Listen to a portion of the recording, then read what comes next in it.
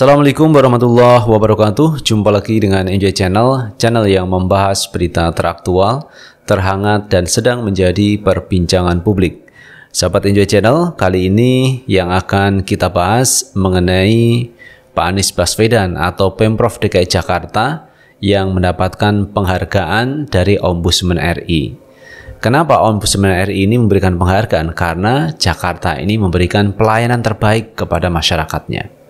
Karena itu, Ombudsman memberikan penghargaan kepada Pak Anies Baswedan.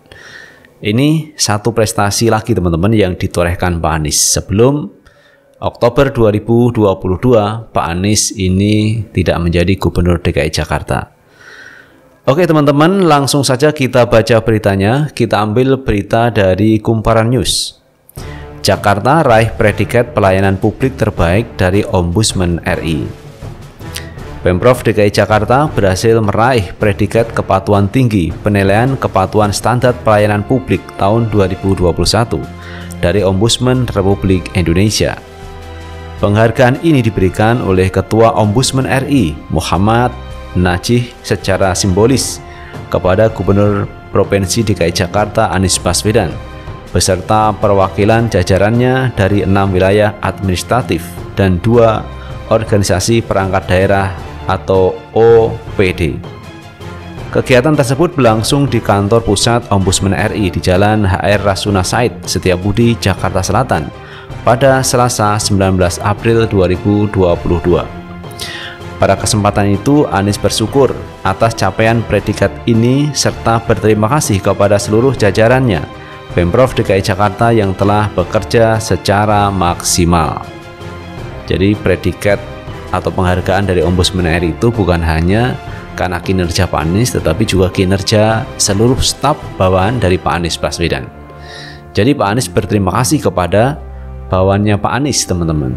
Jadi bukan berarti ini karena prestasi saya.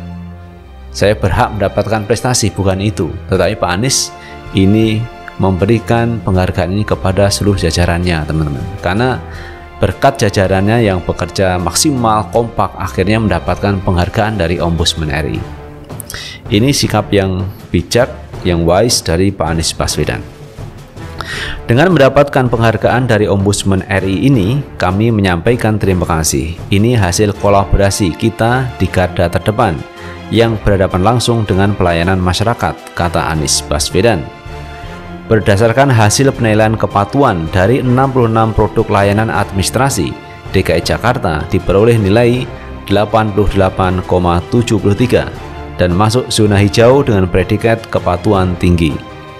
Perlu diketahui, nilai kepatuhan pelayanan publik di DKI Jakarta selalu meningkat setiap tahunnya, terhitung sejak tahun 2015-2016 nilai tingkat kepatuhan zona DKI Jakarta berada di angka 61,20 sampai 74,64 dengan kategori sedang zona hijau. Nah, itu teman-teman gambarnya zona hijau.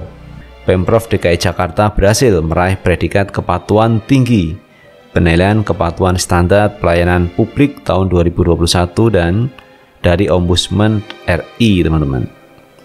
Oke, kita lanjutkan. Sedangkan tahun 2017 dan tahun 2021 terjadi kenaikan yang signifikan yaitu di angka 85,43 sampai 88,73 dengan predikat tinggi zona hijau.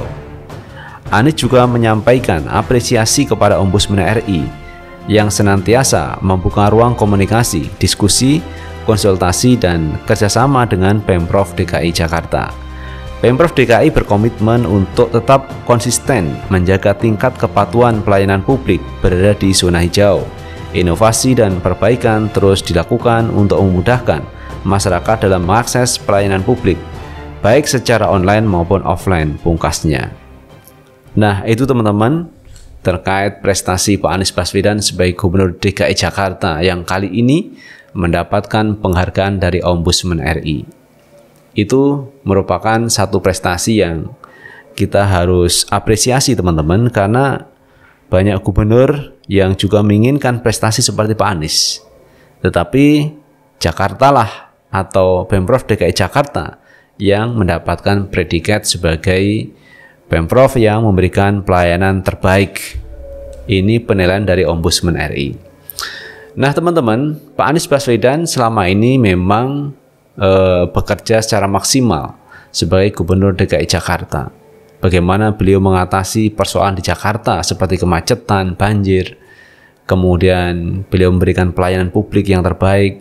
Ada 66 produk layanan di Pemprov DKI Jakarta dan itu mendapatkan nilai 88 lebih teman-teman.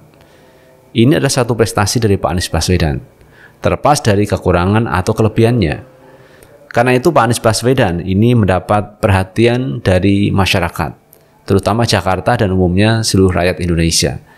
Yang mana hari-hari ini banyak deklarasi-deklarasi mendukung Pak Anies Baswedan untuk pencapresan di 2024. Kenapa masyarakat kok begitu ingin Pak Anies untuk maju di 2024? Karena masyarakat menilai teman-teman, Pak Anies berhasil dalam memimpin DKI Jakarta.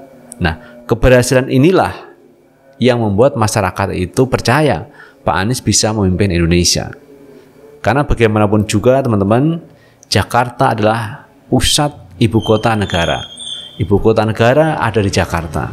Nah, ketika Jakarta ini dalam kondisi kondusif, dalam kondisi damai, maka daerah-daerah lain di luar Jakarta juga akan mengikuti.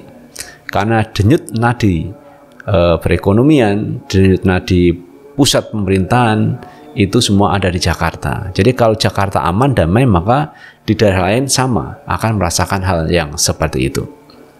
Maka tidak heran teman-teman banyak prestasi yang ditorehkan Pak Anies Baswedan eh, ketika beliau mengelola Pemprov DKI Jakarta. Dan beliau memimpin DKI Jakarta itu insya Allah genap lima tahun teman-teman. Bukan di tengah jalan kemudian meninggalkan tanggung jawab, tidak. Pak Anies Baswedan tetap konsisten sebagai Gubernur DKI Jakarta yang disumpah untuk bekerja selama lima tahun. Jadi kontraknya itu lima tahun. Itu akan ditunaikan Pak Anies Baswedan. Jadi berbeda dengan gubernur yang sebelumnya teman-teman. Belum genap lima tahun tetapi sudah keluar dari Pemprov DKI Jakarta. Nah, ini adalah satu hal yang positif yang dilakukan oleh Pak Anies Baswedan. Karena itu, sekali lagi banyak masyarakat yang menginginkan Pak Anies untuk maju di 2024 dalam rangka untuk memperbaiki Indonesia agar menjadi lebih baik.